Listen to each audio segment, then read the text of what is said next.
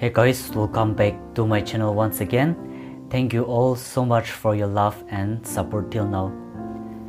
Yeah guys, today's video is very different from my other videos because today I'll be just sitting and talking. I'm sure guys you have all seen from the title what I'm going to talk about today. That is why I choose to study theology. Yeah guys, when it comes to this, to study theology was my dream ever since I was a child. I was always inspired by the preacher whenever I go to church or whenever I attend any Christian related programs. I was always inspired by the preacher or people who testifies about God's love. I was always inspired by them and motivated by them. And to study theology became a dream and with this dream and vision, I grew up. Being a human, there have been a lot of struggles, difficulties, and problems in my life. But my dream to study theology was never shaken.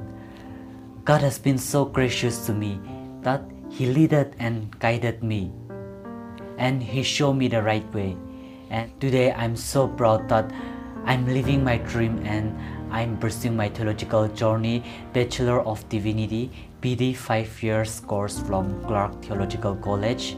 And also, I'm happy and proud to say that I'm already in the verge of completing my BD program. Therefore, I request if you are watching this video, please to say a prayer for me so that without any difficulties and problems, I may be able to complete my BD program.